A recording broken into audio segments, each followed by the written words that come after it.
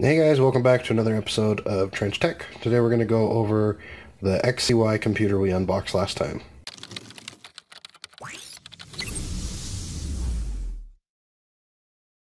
So as you can see here, we've got Windows updating, which is great.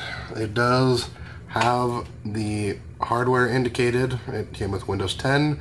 It was Pro, which was surprising. It's got the i3 processor, 8 gigs of RAM, and it does have a 128 gig hard drive. Let me just show you that. So 111 is what it equates out to be. Um, a few things to be aware. This is a Chinese branded computer and it was set up for the UK and I'm based in the US.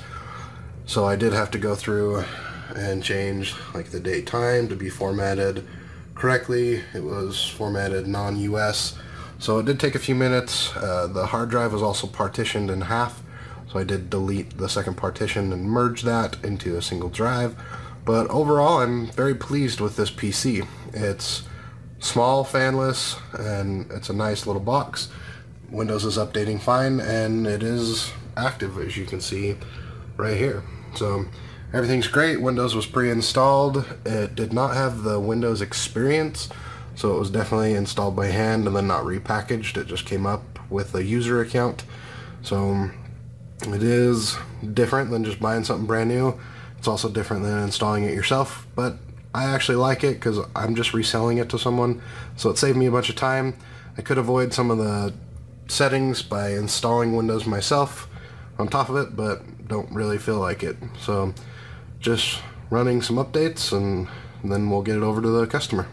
Hey guys, just a quick update here. I did Windows updates and it somehow changed to Windows 10 Enterprise and is no longer activated. So we're going to try a restart. If that doesn't work, we'll reinstall 10 Pro and see what happens. So the restart didn't work, so since I had the machine off, I thought I'd take the bottom off so I show you a quick look inside. You can see the front. We got the USB ports and power. We got the 8 gigs of RAM. We got an Intel wireless card.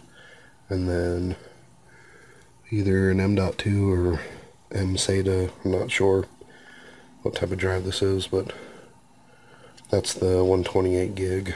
And then all the back I.O. The CPU is on the other side and it uses the whole aluminum housing as its heatsink.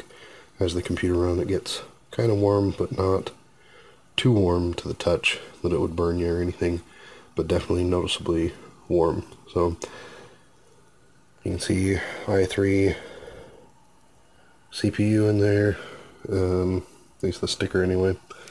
So we'll reinstall Windows 10 and let you know how that goes.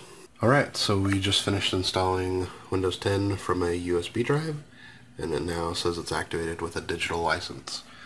Not sure why when I did the updates that it freaked out and moved it to Enterprise, so we'll run the updates again, and if it works, we'll just leave it at that. If it doesn't, we'll give you another update.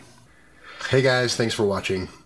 Click here, here, to see some relevant videos for you or click right here to subscribe to our channel. Thanks so much for watching. Don't forget to like this video.